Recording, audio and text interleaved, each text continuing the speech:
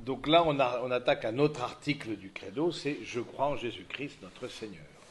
On les fera pas tous, comme je vous l'ai dit le premier jour, parce que c'est il y a beaucoup de matière et on ne peut pas tout voir en, huit enseignements.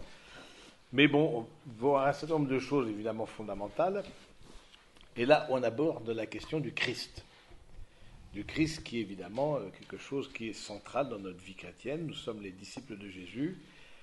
Et donc il y a euh, plusieurs parties dans cette, euh, cette trois parties, si je me trompe. Pourquoi le Verbe s'est-il fait chair?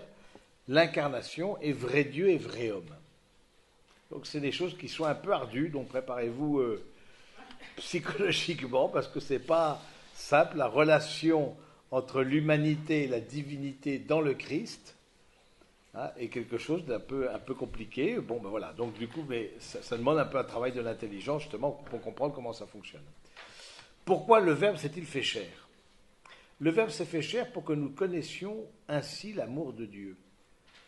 En ceci s'est manifesté l'amour de Dieu. Pour nous, Dieu a envoyé son Fils unique dans le monde afin que nous vivions par lui. Car Dieu a tant aimé le monde qu'il a donné son Fils unique, afin que quiconque croit en lui ne se perde pas, mais ait la vie éternelle. Pour remonter un petit peu en amont, en amont du verbe séfécha, la question de la Trinité. Parce que là, on rentre dans la question, on ne va pas voir toute la Trinité, mais pourquoi est-ce que nous croyons dans la Trinité? Vous pouvez me dire, parce que euh, Jésus nous a nous croyons en Jésus que Jésus a manifesté le Père et envoyé son Esprit. Mais si on croit en un Dieu amour, est-ce qu'on ne peut pas dire aussi que ce Dieu amour est en lui-même circulation de relations? Que nous croyons en un Dieu qui est relation en lui-même Ce n'est pas une masse compacte qui serait au-dessus de nos têtes, mais nous croyons en un Dieu qui est relation.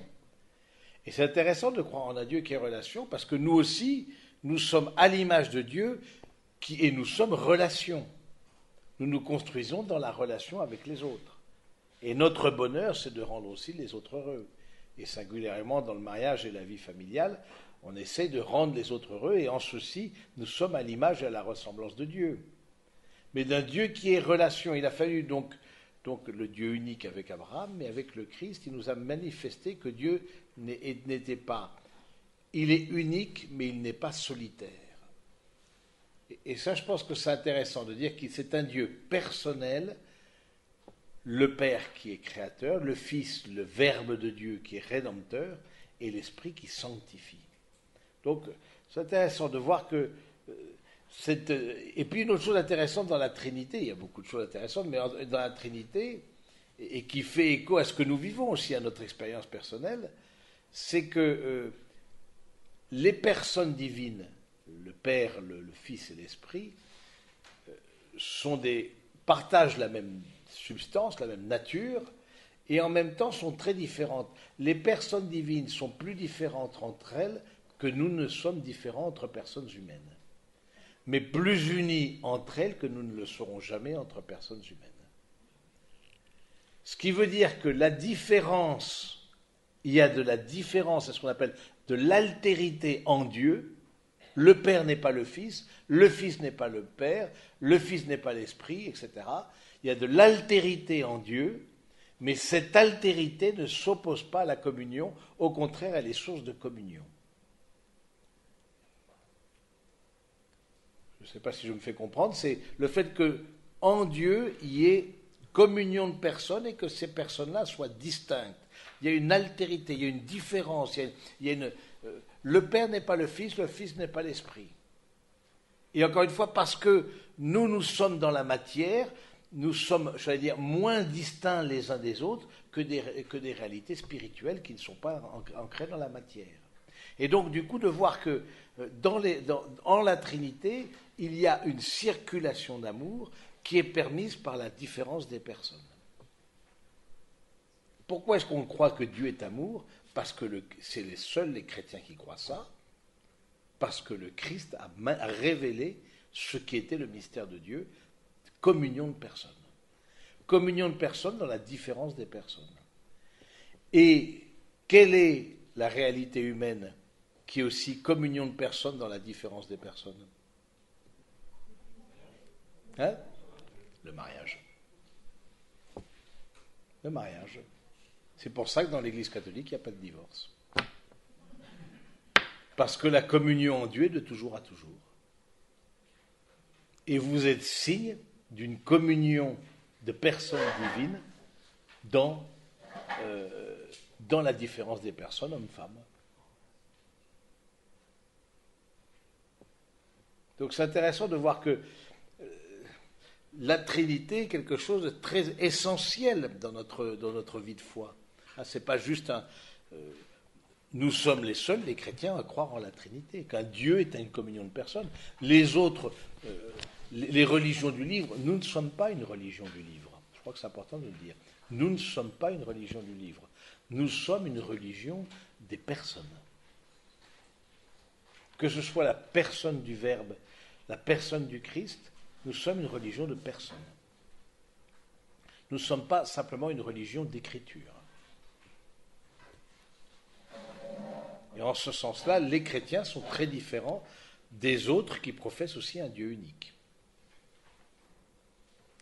Et le mariage euh, catholique est signe, justement, sacrement, sacrement ça veut dire signe, signe visible d'une grâce invisible, c'est ça que ça veut dire sacrement, signe visible d'une communion de personnes, et la communion en Dieu est altérité, comme la communion dans le mariage est altérité, hommes et femmes.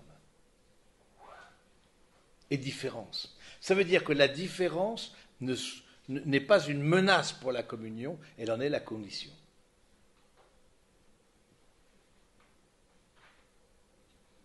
Je dis ça parce que parfois en nous, on a cette tendance à voir la différence comme une menace. Il est autre que moi, attention. Il est autre que moi dans le couple, dans homme-femme, mais dans sa manière de fonctionner, dans son rapport à sa famille, dans son rapport à l'argent, euh, dans, son rapport à la, sexualité, dans son, etc., dans, dans son rapport à l'éducation. Il est autre que moi. Et il y a en nous un désir de vouloir rendre l'autre à notre image et ressemblance. J'aimerais que l'autre fonctionne comme moi. Or, dans la Trinité, c'est pas ça. On ne se marie pas avec un clone. On se marie avec quelqu'un de différent. Parce que Dieu en lui-même est différence. Dieu en lui-même est altérité et autre. Et en même temps, tellement différents, ces personnes divines sont vraiment différentes les unes des autres, et en même temps partagent la même substance, un consubstantiel au Père. On dit la même. C'est plus que nature, hein, parce que ça nous entraîne dans la, philosophie. C'est ça la richesse, je trouve, de la, foi catholique, c'est qu'elle a fait, la foi catholique a fait sienne la philosophie grecque. Et dans la philosophie grecque, il y a des outils intellectuelles, comme par exemple la notion de personne, nous viennent de la philosophie grecque, comme la notion de substance, comme la notion de nature. Nous sommes de même nature humaine, tous, tous ceux qui sommes ici, sauf mademoiselle qui est de nature euh, animale bovine, voilà, bon, ben, voilà, c'est pas, euh, pas, mais nous sommes de nature humaine, mais nous ne sommes pas de la même substance. Notre être profond nous est unique. En Dieu, ils partagent la même substance et avec des personnes différentes. Donc c'est vraiment un mystère. C'est à la fois c'est ils sont c'est pas un Dieu partagé en trois, c'est pas un camembert, camembert partagé en trois la Trinité. Pas du tout. Chacun est la totalité de la divinité mais chacun exprime la, divinité de façon unique.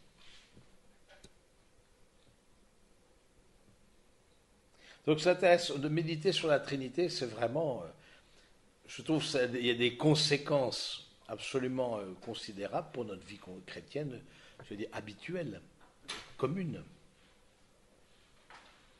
Nous croyons en un Dieu qui est amour, mais pas en un Dieu qui est unique mais pas solitaire, un Dieu qui est communion de personnes. Et Jésus nous révèle ce Dieu qui est communion de personnes. Sinon, pourquoi croire en un Dieu qui est amour? Si personne du, sein du Père, c'est-à-dire de, de, l'intérieur même de Dieu, nous révèle qui il est. Pourquoi croire qu'il est amour? Il est créateur, on peut croire qu'il est bienveillant, mais nous sommes poussés à nous aimer et à aimer parce que nous sommes image d'une ressemblance d'un Dieu qui est amour. Sinon, pourquoi est-ce qu'on s'aimerait? À moins que ce soit inscrit à l'intérieur même, au plus profond de nous-mêmes, dans cette image hein, qui est indélébile, que Dieu a creusée dans notre, dans notre personne. Nous sommes à cette image de cette communion.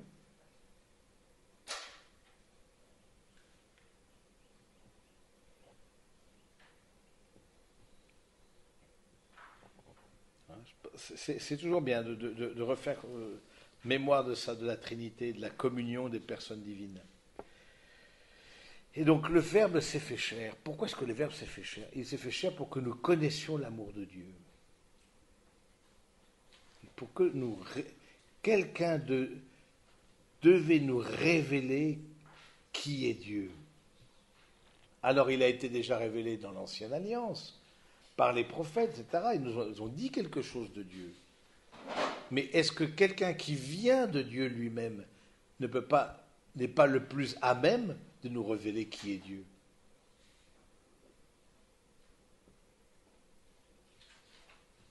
Et nous croyons que le Christ, le Verbe de Dieu, le Verbe, c'est-à-dire celui qui dit Dieu, en une seule parole, en un seul verbe, Dieu se dit tout entier. Et c'est le Christ qui a pris notre nature humaine.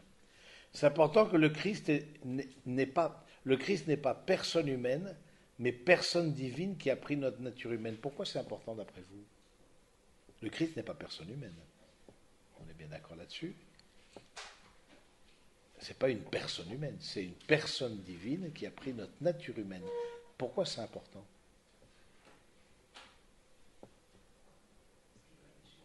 Parce que il y a la question du péché originel et puis il y a la question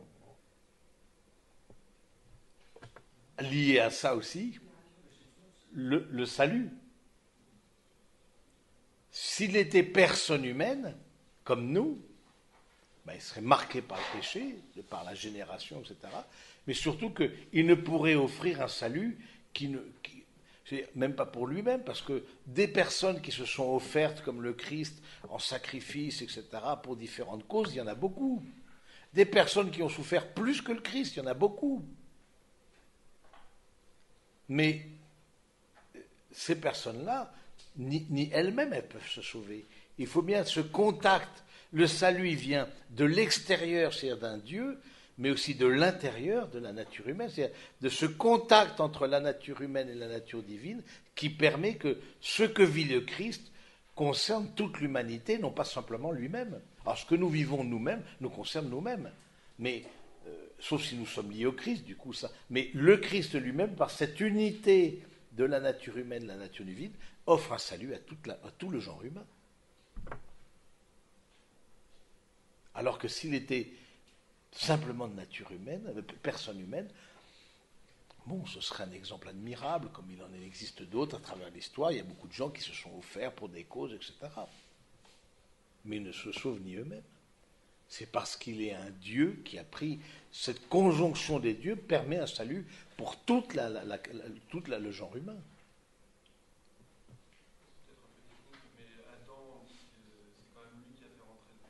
Oui.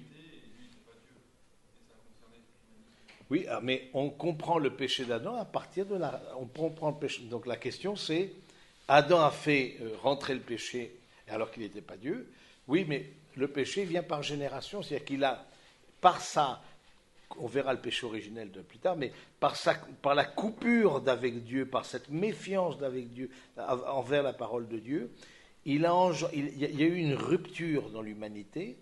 Il y a eu une épreuve, il y a eu une rupture, on verra ça un peu plus tard, mais et du coup, c'est, on comprend euh, Adam à partir du Christ, c'est-à-dire le Christ vient reprendre tout le genre humain et le ramener dans le sein du Père, reprendre jusqu'au premier Adam.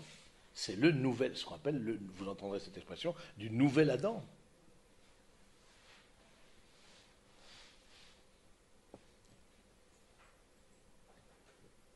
quelque part, pour transmettre le mal, il ne faut pas être Dieu, mais pour, pour, euh, pour changer, pour, euh, sauver tout le monde, il faut être Dieu. C'est pas pareil. Quelque part, pour transmettre le mal, malheureusement, on voit bien qu'on est très, très à même euh, à le faire, sans être Dieu nous-mêmes. Mais pour sauver tout un genre humain, ça c'est en dehors de notre portée.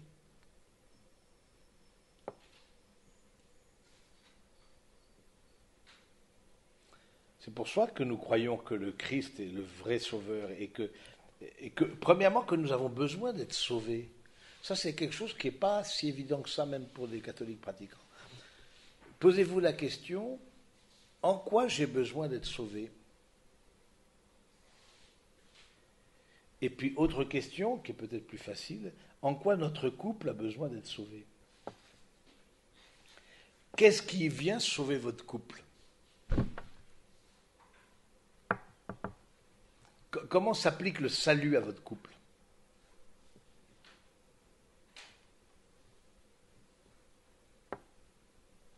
Vous le savez, vous l'avez, vous l'avez dit le jour J. Comment? Non. Comment s'applique le salut à votre couple? C'est quoi Par quel moyen s'applique le salut à votre couple? Au moment de? C'est le sacrement du. Les sacrements sont toujours les sacrements du salut.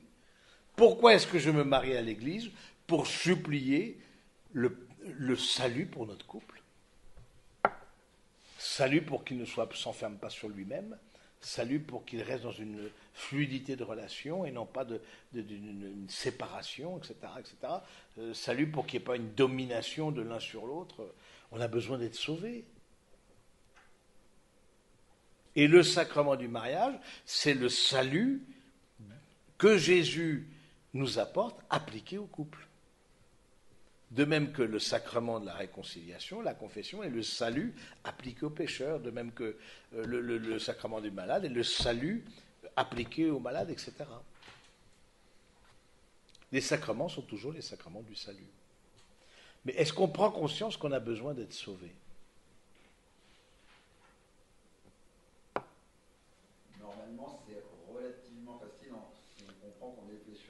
Oui.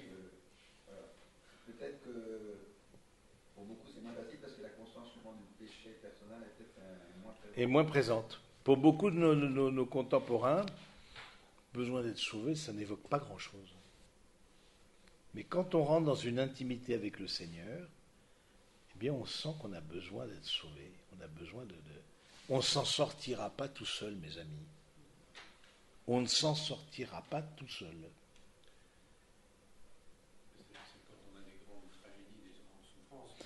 parfois des grandes tragédies, des grandes souffrances nous permettent de reprendre conscience que oui, ah bah oui, là, euh, là, si Dieu ne vient pas nous sauver, on est foutu, quoi. On est complètement à la ramasse, quoi.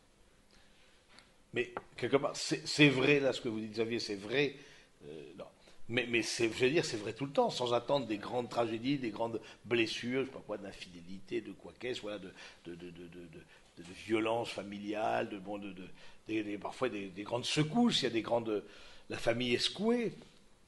Hein, vos familles euh, nucléaires, c'est vos parents, vos frères et sœurs, etc., votre couple, votre propre famille, et, parfois, et, c'est pour ça que c'est parfois salutaire. Hein, euh, le fait de faire l'expérience du mal dans notre couple ou dans notre famille. Alors on ne va pas le provoquer, bien sûr, mais le fait de faire cette expérience ou de toucher, de, nous fait prendre conscience qu'on ne s'en sortira pas tout seul.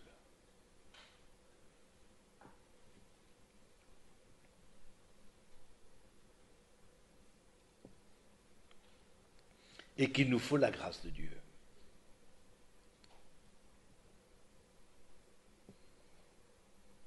Et cette grâce de Dieu qui nous est venue par le Christ. Et dès que je suis en contact avec le Christ, comme on l'a vu ce matin, quels sont les canaux de la grâce de Dieu, dit d'une autre manière, quelles sont les manières d'être en contact avec le Christ, exactement pareil la question est posée différemment. On a vu là, les sacrements, la parole, la communauté chrétienne, ce sont des manières dont moyens par lesquels le Christ nous rejoint, avec lesquels, nous sommes en contact, pour être sauvés.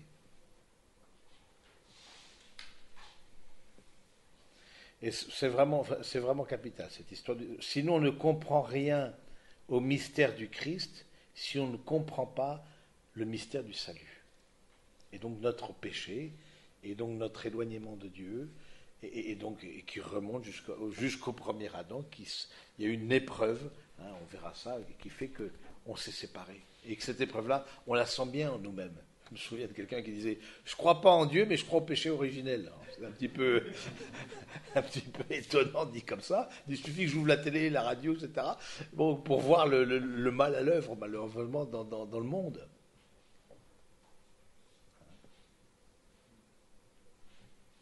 Mais nous croyons en une personne qui a mis un terme à ce mal. Le chrétien est le seul qui croit que le mal a un terme, a une fin par la résurrection du Christ, par la rédemption, le rachat de nos péchés, le fait de, nous sauver par l'offrande de sa vie, hein, euh, met un terme au mal. Et donc si on voit que le mal triomphe en nous-mêmes ou dans nos familles ou dans nos... Quelle est, l'attitude à avoir si ce n'est se mettre en contact avec le Seigneur? J'aime bien la Jésus qui va chez Simon le pharisien, vous vous rappelez ce passage hein, Il y a une femme pécheresse, on dit c'est peut-être Marie-Madeleine, etc. Pourquoi pas En tout cas, c'est une femme assez affective, semble-t-il. Et du coup, euh, et euh, qui, baigne de ses larmes, j'allais dire, les pieds de Jésus, qui essuie les pieds avec ses cheveux, qui verse un parfum, etc. Elle met en contact avec le Christ tout ce qui lui a servi à égarer les hommes, que ce soit les cheveux, le parfum, le, regard, voilà, elle le met en contact pour être sauvé.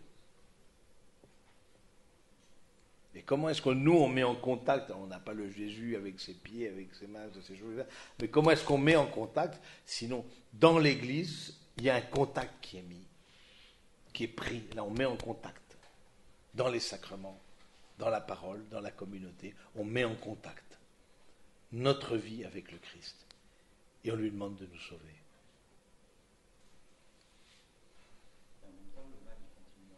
Et en même temps, le mal continue dans le monde parce que nous ne sommes pas à la fin des temps. On verra ça à la fin des temps. Nous ne sommes pas.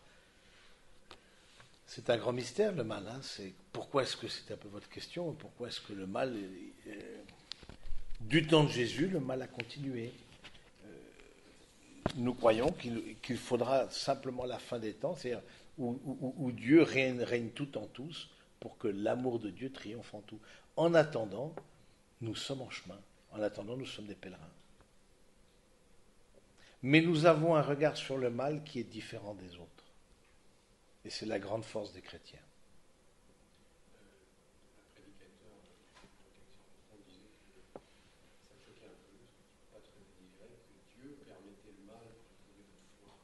Dieu permet le mal pour éprouver notre foi, c'est ce que vous dites.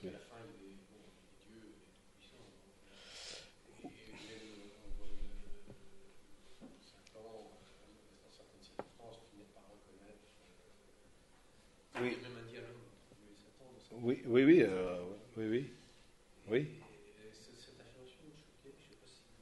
Oui, ben, Dieu permet le mal. On, le voit, c'est. Et pour en sortir un bien, c'est ce que nous croyons, mais ça reste quand même un mystère, ce qu'on appelle le mystère d'iniquité, c'est-à-dire comment le mystère du mal continue d'agir dans le monde avec autant de puissance alors que le Christ est ressuscité. C'est quand même une question. On ne peut pas ne pas se poser la question. Alors à cette question, nous avons la réponse de dire que euh, déjà c'est avec la...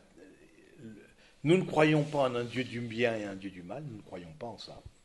Nous croyons en un Dieu unique et nous croyons qu'il y a Satan qui s'oppose à Dieu, qui a été mis à l'épreuve aussi pour accueillir le don de Dieu qui ne l'a pas accueilli, qui s'oppose au plan de Dieu et à l'amour de Dieu et qui veut. Et, Satan, ben est encore agissant dans ce monde. Mais nous croyons que ce sera dans l'autre monde, dans la vie éternelle, que Dieu régnera tout en tous, sera tout en tous. Et qu'en attendant, ce mal-là, nous pouvons le mettre en. Si nous le mettons en communion, en contact avec le Christ, nous croyons que de ce mal-là peut surgir un bien. Pas de par soi, parce que le mal est un mal, la maladie est à combattre, la justice est à combattre, etc. Mais il y a des choses qu'on ne choisit pas, Mais qu'est-ce que tu fais avec ce qu'on t'a fait? Qu'est-ce que tu fais avec ce Qu'est-ce que tu fais avec ce que, ce, ce que tu trouves mal en toi ou autour de toi? Est-ce que tu le mets en contact avec le Christ ou tu restes seul à te débattre avec tes petits points?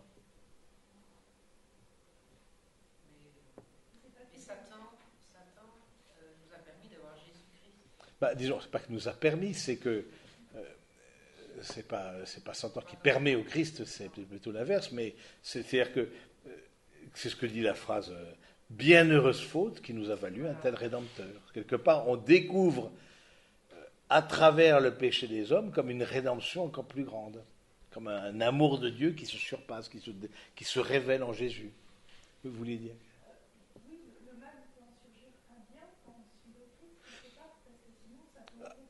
Ça peut éloigner. Éloigner, et le mal peut faire un bien. C'est pas automatique. De sa nature, le mal ne peut pas, euh, n'est pas ordonné au bien par définition. Quoi. Donc, euh, mais il faut, si je mets ça en contact avec le Seigneur, si je, je, l'unis à la passion du Christ, si je le mets, eh, eh bien, il y a quelque chose de, de, fort qui peut sortir de ça. Et des personnes qui ont connu des grands moments de souffrance, des grands moments d'injustice, etc., mais qui ont vécu ça comme hommes et femmes de foi, eh bien, ils ont été des grands témoins.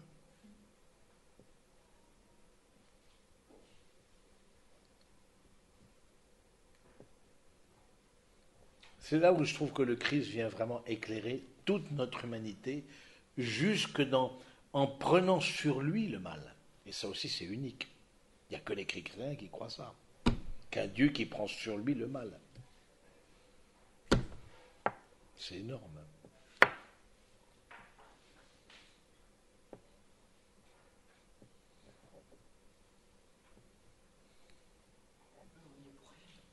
On n'y est pour rien quoi On n'y est pour rien quoi Isabelle me fait marrer. On n'y est pour rien. Ah, mais je péché originel, on n'y est pour rien, oui, d'accord, mais bon, on est dans la nature humaine et, quelque part, il n'y aurait pas eu bienheureuse faute qui nous c'est à partir de la rédemption, à partir du salut qu'on comprend le péché. C'est pas à partir du péché qu'on comprend le péché. Donc c'est à partir de comment, au fond, il y a une grâce qui nous a.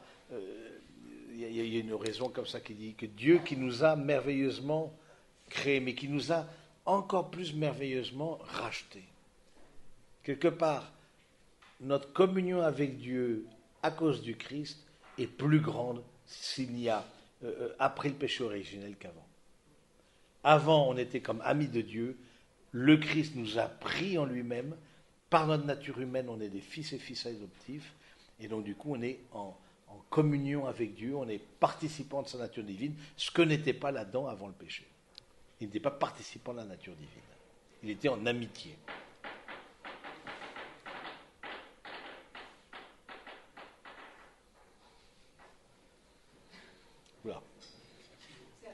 C'est Adam qui se réveille là. voilà, donc euh, euh pourquoi le Verbe s'est fait chair Pour que nous connaissions l'amour de Dieu.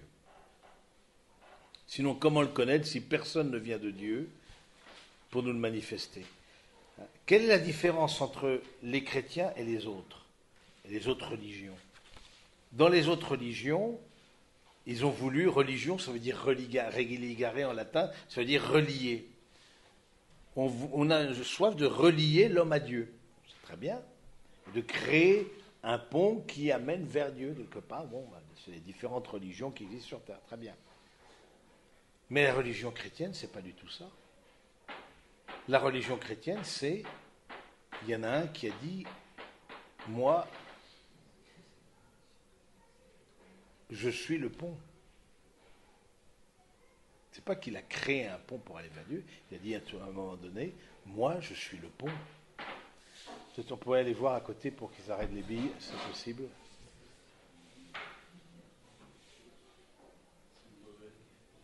Oh, c'est pas le mauvais, non. mauvais partout. L'esprit frappeur, c'est ça. Moi, je, il a dit, moi, je suis le pont. Il ne s'agit pas de construire un pont pour aller vers Dieu, c'est moi le pont. Alors soit on croit, soit on ne croit pas. Et pourquoi on croirait? Sa parole, qui vit, nul homme n'a parlé comme cet homme, ses actes, l'offrande de sa vie. Et puis la grâce qui nous fait accéder. Hein. On voit même du temps de Jésus, hein, en sa passion, vous pouvez relire la passion, je trouve que ce serait intéressant, de voir comment le, centurion romain, païen, hein, vraiment cet homme était le fils de Dieu. Fils de Dieu, se dire Dieu, c'est pas fils comme vous avez des fils, c'est pas, il est de nature divine, il est, vraiment Dieu. Il y, a, comme une révélation. La, la, passion du Christ, elle est, elle est à la fois scandale et à la fois salut. Elle est à la fois ténèbres, parce qu'il y a beaucoup de ténèbres dans la passion du Christ, et à la fois lumière. Tout dépend du côté où on la prend. Si on est dans une démarche simplement humaine, on dit ben, ben, pourquoi cet homme-là crucifié, vous en faites l'emblème de votre religion? C'est un peu spécial, c'est un peu curieux quand même de voir des crucifiés alors que c'est un instrument de torture. Pourquoi est-ce que vous ne pourriez pas être. Voilà, euh, ben, nous croyons ce qui est fou aux yeux du monde et sage aux yeux de Dieu. Que la passion est folie de Dieu et, plus sage que la sagesse des hommes. Hein, donc ça, je crois que ça, voilà, c'est beau de voir ça, c'est de contempler que Dieu, car Dieu a tant aimé le monde qu'il a donné son Fils unique, afin que quiconque croit en lui ne se perde pas, mais ait la vie éternelle. Je crois en Jésus, vrai Dieu et vrai homme, et du coup j'ai accès à la vie éternelle, parce que de ma propre volonté, je ne peux pas avoir accès à la vie éternelle. Il faut que ce soit donné. Vous vous rappelez, dans, l'Ancien Testament, il y avait le monde, le Sheol, c'est-à-dire le, monde des morts. On allait au monde des morts, mais ce n'était pas la vie éternelle, ce n'était pas cette communion avec Dieu, parce qu'il y avait comme une séparation d'avec Dieu qui nous empêchait d'aller vers lui. Le Verbe s'est fait chair pour être notre modèle de sainteté. Prenez sur vous mon joug, apprenez de moi. Je suis la voie, la vérité, la vie. Nul ne vient au Père sans passer par moi. Et le Père, sur la montagne de la transfiguration, ordonne écoutez-le. Il est en effet le modèle des béatitudes et la norme de la loi nouvelle. Aimez-vous les uns les autres comme je vous ai aimé. Cet amour implique l'offrande effective de soi-même à sa suite. Le Verbe s'est fait chair pour nous rendre participants de sa nature divine. Car telle est la raison pour laquelle le Verbe s'est fait homme et le Fils de Dieu, Fils de l'homme, c'est pour que nous, pour que, que l'homme, en entrant en communion avec le Verbe et en recevant ainsi la filiation divine, devienne Fils de Dieu. Hein, c'est ce que c'est Saint Athanase.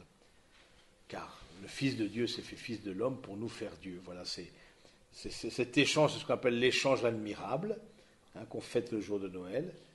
Dieu a pris notre nature pour que nous devenions participants de sa nature.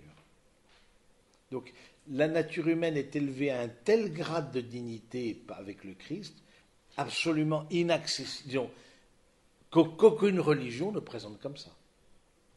Aucune religion ne, se présentera comme donnant une participation à la nature divine. Et donc une dignité donnée à la nature humaine.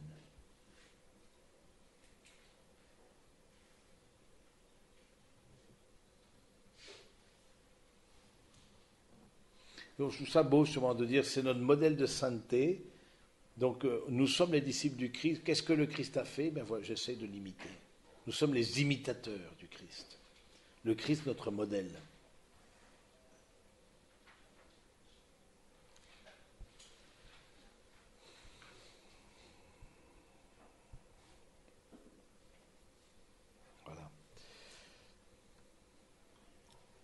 Le, Fils unique de Dieu, voulant que nous participions à sa divinité, assuma notre nature afin que lui, fait homme, fit les hommes Dieu. Voilà, ça c'est des citations de Père de l'Église. Euh, ça, vous en retrouverez à l'appel que si vous étudiez les Pères de l'Église. Nous sommes participants de cette nature divine. Nous ne sommes pas simplement, comme l'ancien Adam, en amitié avec Dieu. Nous sommes, il y a quelque chose de la nature de Dieu qui habite en nous. Oui.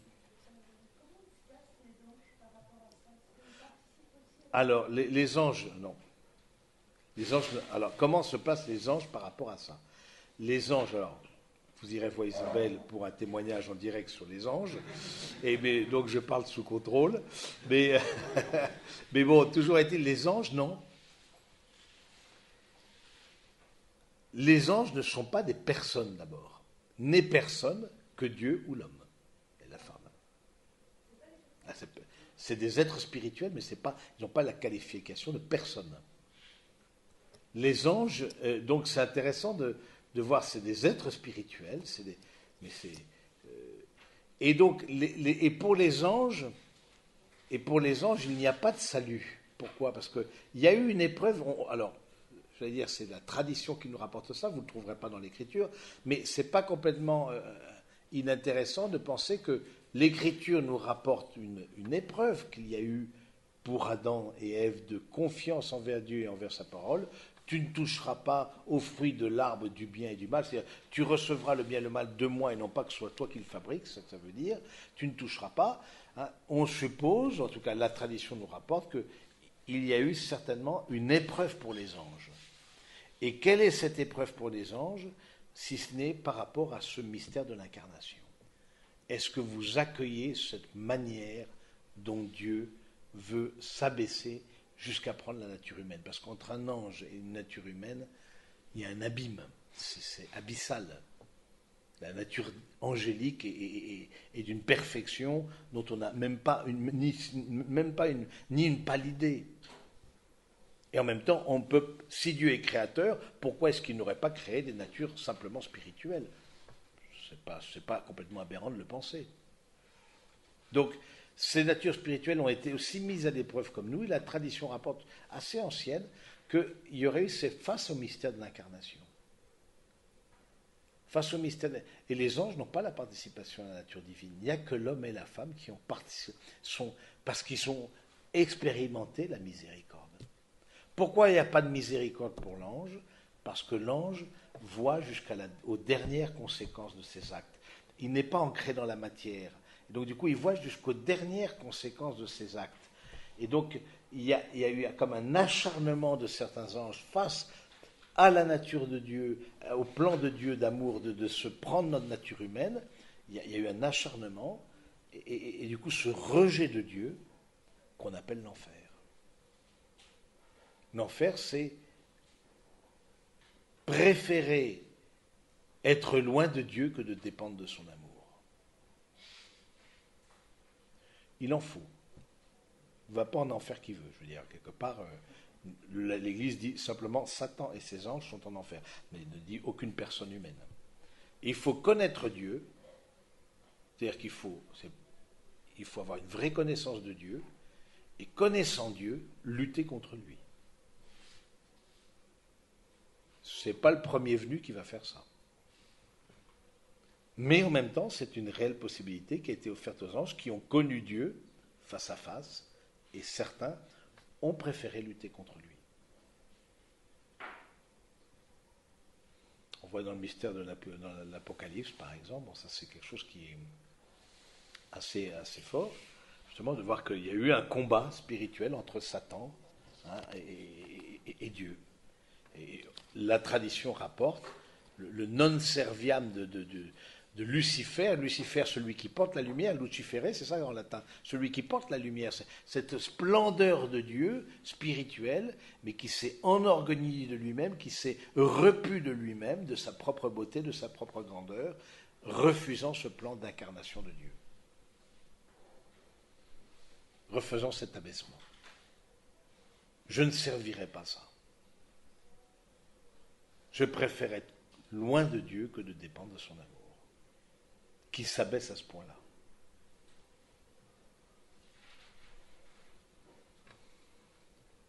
Donc il n'y a, pas de, a pas de salut pour les anges. Mais pour nous, hommes et femmes, personnes humaines, il y a un salut parce qu'on ne voit pas plus loin que le, bout de notre nez, grosso modo. Et donc, du coup, pour ça que bah, voilà, on, veut faire le bien et puis finalement il y a un autre truc qui sort, et puis c'est pas vraiment le bien qui arrive, et puis euh, alors qu'on avait des bonnes intentions, et puis ça, tourne complètement au rebours de tout, et puis ça ne même pas qu'est-ce qu'on pas, pas possible, pourquoi dans la famille par exemple, bon voilà, bon ben ça, c'est de l'expérience commune quoi. Ah c'est pas ça que je voulais faire, je, je voulais pas faire ça, etc. Oui, d'accord, mais entre-temps, la, personne a été blessée parce que peut-être elle est hyper susceptible, parce que j'en sais rien. Mais, mais voilà, euh, euh, comme dit l'apôtre Saint Paul, je ne fais pas le bien que je veux et je fais le mal que je ne veux pas. L'ange ne peut pas dire ça. L'ange ne peut pas dire je ne fais pas le bien que je veux et je fais le mal que je ne vis pas. Je ne veux pas. Seule la personne humaine peut dire ça.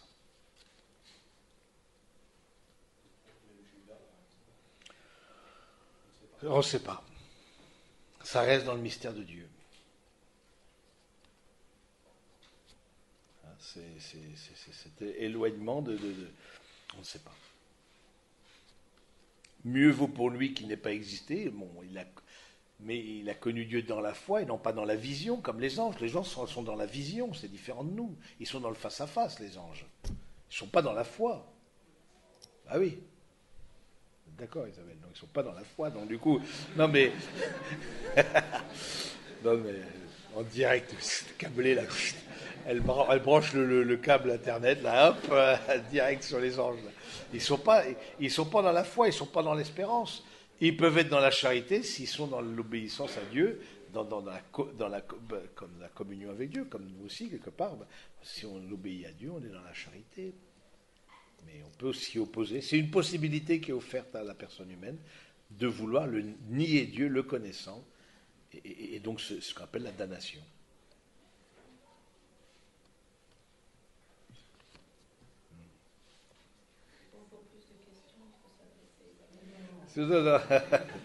Mais bon, alors on continue. L'incarnation.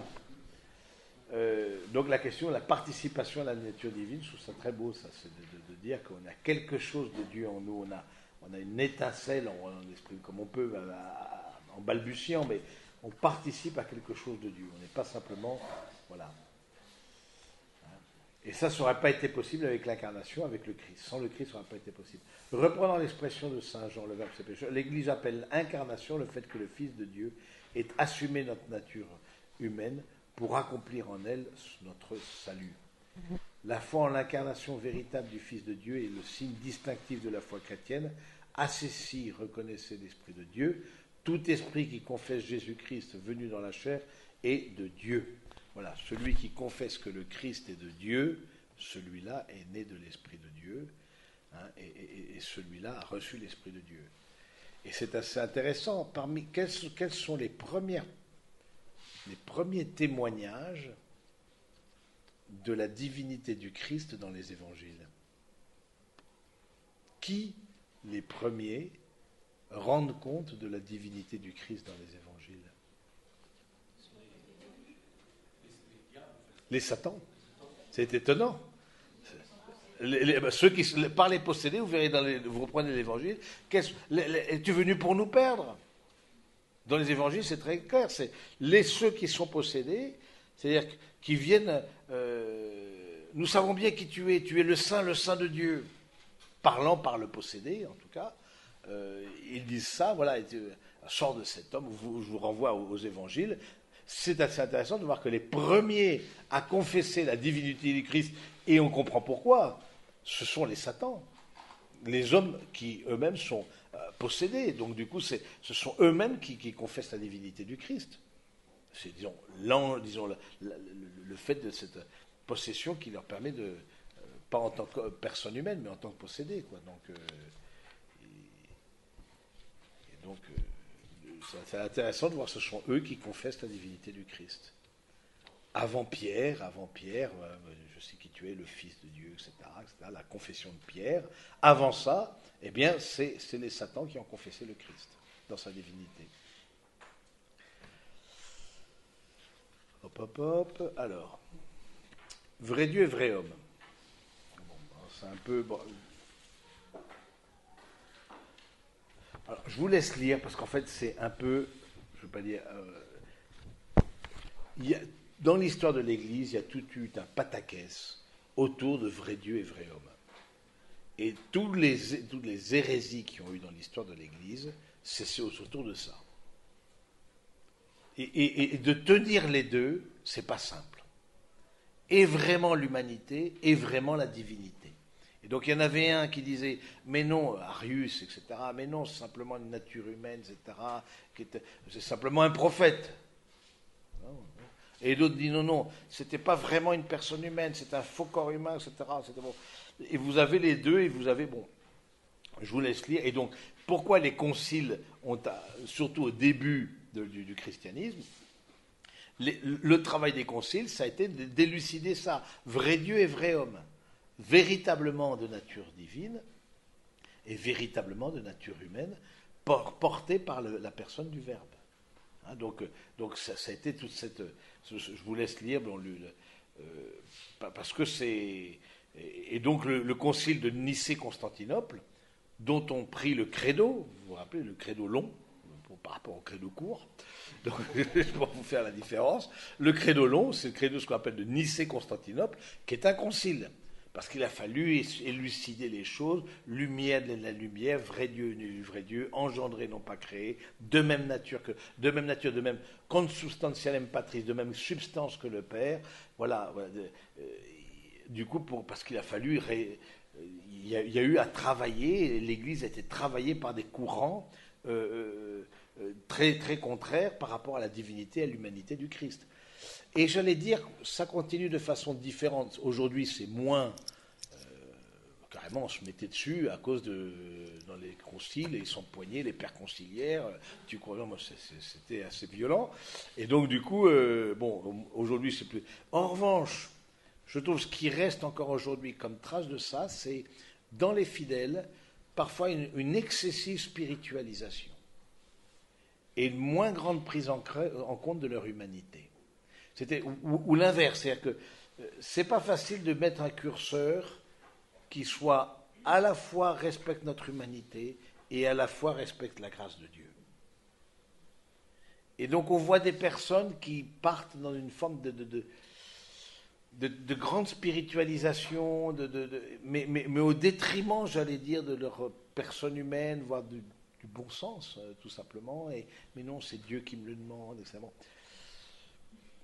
pourquoi pas, mais ça demande un discernement. Hein, euh, ou des personnes qui restent à un état simplement, on a vu euh, avec la dimension plus sociale de l'Église, simplement humain, sans tenir compte de la soif de, Dieu dans la personne humaine. Donc ça se traduit aujourd'hui plutôt comme ça. Je veux dire, plutôt que aujourd'hui le, sujet n'est pas. C'est rare qu'il y ait des divorces sur la, question de la personne la dimension de la nature humaine et divine dans le Christ. Bon, ça, je n'ai pas encore raconté, j'ai vu ça, j'ai encore vu ça. Mais en revanche, il y a vraiment parfois quelque chose qui n'est pas en place au niveau de la véritable humanité. Il y a véritablement humain, véritablement divin. C'est pas facile euh, d'être bien sur ces deux pieds-là. Donc vous lirez ça un peu de, côté. Oui.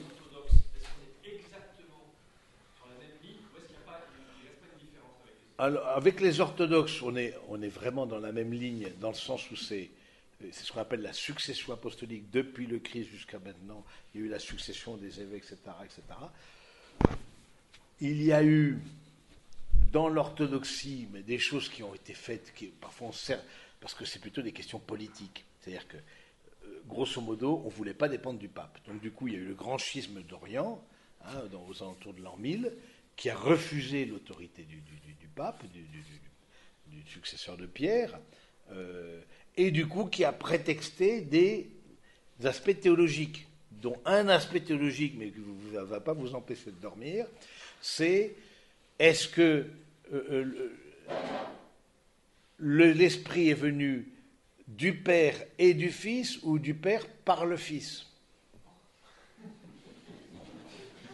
Ah, mais Au secours, mais stop. Euh, ils ont les sept sacrements comme nous, ils ont avec leur propre modalité de, de, liturgie, etc. Mais dans la liturgie catholique, vous savez qu'il n'y a pas que la liturgie romaine, il y a la liturgie orientale, etc. Bon, Bon, c'est grosso modo, euh, je préfère être euh, le premier dans mon village que le deuxième à Rome, quoi. C'était ça le problème. C'était qui veut être le patron, quoi. donc, euh, c'est des questions plus politiques qu'autre chose. Donc, du coup, on a dit, mais non, c'est comme avec les anglicans, c'est une question un peu de braguette. Voilà, c'est Henri VIII qui, voulait faire reconnaître son divorce, etc. Bon, et le pape a dit non, il dit, bah, bah, maintenant, c'est moi le pape. Bon, bah, d'accord. C'est un peu, un peu léger, quoi. Mais du coup.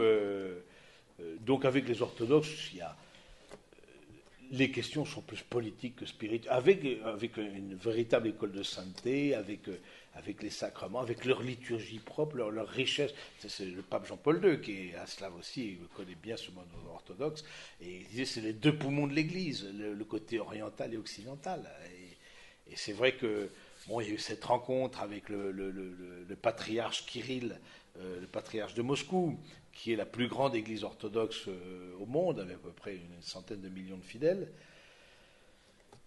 mais lui-même est traversé par des, des, tensions, et puis aussi l'Église catholique n'a pas été non plus euh, très délicate avec la question des uniates. Vous connaissez les uniates en, en Ukraine? Les uniates où on a voulu, hop, vous rentrez chez nous, c'est-à-dire que on a voulu, ben ouais, non, rentrer dans l'église catholique, etc. Du coup, ils ont toujours peur, les parce qu'en face de d'eux, il y a une église catholique qui a un milliard 500 millions de personnes. C'est sûr, eux, ils sont 100 millions, donc bon, euh, le, gros truc en face d'eux. Euh, du coup, et, puis parfois, il y a un manque de délicatesse, de vouloir aussi pécher. Voilà, on, on est la vraie religion parce qu'on a les plus fortes statistiques, mais ça ne veut rien dire. Mais c'est humain. Et c'est arrivé. Et donc, du coup, avec la question des uniates en Ukraine, où justement on a voulu récupérer un certain nombre de. Euh, et, Jean-Paul II a créé des diocèses catholiques à l'intérieur même des diocèses orthodoxes. Alors là, ça n'a pas aidé. Quoi. Mais ce n'était pas la bonne personne, à mon avis, pour gérer les liens avec l'orthodoxie. Du coup, il n'y a jamais eu de. Le pape n'a jamais été invité en Russie, par exemple. Jamais. Bon, ça c'est là la division, le mal qui est à l'œuvre aussi dans, les chrétiens, et dont aussi nous catholiques, nous avons une partie prenante. Mais sur le papier, il n'y a pas l'épaisseur d'un papier à cigarette entre les deux. Quoi.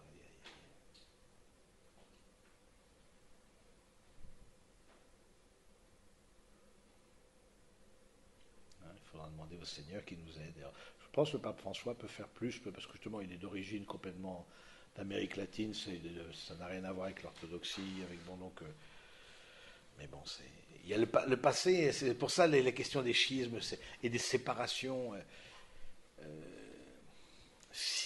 et, donc la décision du pape Benoît XVI, du pape Benoît XVI de, de, réintégrer quelque part le, rite extraordinaire dans l'Église catholique, c'est de parce que les schismes quand ils s'installent, mais ils s'installent pour de bon quoi. Ça, ça fait mille ans. Hein. C'est un peu longué quand même. Hein. Donc, euh, oui. J'avais entendu dire au leader d'un article que le responsable orthodoxe était très heureux quand justement euh, l'Église catholique romaine a sorti le catéchisme de l'Église catholique qui redit bien les choses euh, hmm. parce que chez eux, il avait fait du, mal, politique. Déjà, entre orthodoxes, c'est très compliqué. Il y a eu, je ne sais pas si vous avez suivi, bon, c'est un peu, un peu technique, le concile panorthodoxe qui s'est tenu, je pense, en 2015, 2000, qui réunit, mais qui, qui, qui, invite au concile? Il y en a qui sont. Le patriarcat de Moscou n'est pas venu, parce que c'est le patriarcat de Constantinople qui est le, le, premier patriarcat et donc qui peut inviter, mais il y en a qui ne sont pas venus. Entre orthodoxes. Et donc, bon, les pauvres fidèles là-dedans, je pense qu'ils peuvent. Bon, ils sont nés dans des pays orthodoxes, voilà, mais, mais bon, ils sont profondément. Et puis il y a des vrais saints aussi dans l'orthodoxie. Comme je pense aussi, il y a des vrais saints dans le protestantisme, dans, dans, dans, dans les, vrais martyrs. Est-ce que le, pape, le, pape François appelle l'œcuménisme du sang Dans les chrétiens d'Orient, par exemple, on va arrêter là, mais dans les chrétiens d'Orient, euh, les coptes, par exemple, il des ce qu'on appelle les monophysites. Les monophysites, ça veut dire quoi? Ils ne croient qu'il n'y a qu'une seule nature dans le Christ. Ben, c'est-à-dire qu'ils c'est ce qu'on appelle les pré-calcédoniens. Alors avant le concile de Chalcédoine qui a défini les doubles natures dans le Christ euh, supportées par la personne du Verbe. Il y, avait les et, les Coptes font partie des pré-calcédoniens. Mais aujourd'hui, est-ce que vous voyez quelqu'un qui ne va pas tout de suite, alors que les chrétiens d'Orient sont menacés, aller au secours. Personne. Oh non, mais vous êtes presque alcédionien. voilà, il y, a des choses qui sont remises en perspective par la persécution. Hein, de même les protestants, je pense en Corée, etc., payent un très lourd tribut, de Corée du Nord. un très d'autre mais c'est le pays qui massacre le plus de chrétiens. Donc voilà, juste pour relativiser ces questions théologiques qui ont fait couler beaucoup d'encre et beaucoup de sang, euh, de dire qu'aujourd'hui, eh ben voilà, c'est un petit peu différent par, euh, la nature des choses et, voilà, de, sortir par le haut, mais humilions-nous quelque part, voilà, on en est là et l'histoire aussi euh, pèse dans nos relations, comme nos histoires personnelles pèsent dans nos relations de couple. Voilà, c'est, on est aussi englué dans cette pâte humaine. C'est pour ça qu'on a besoin d'un salut.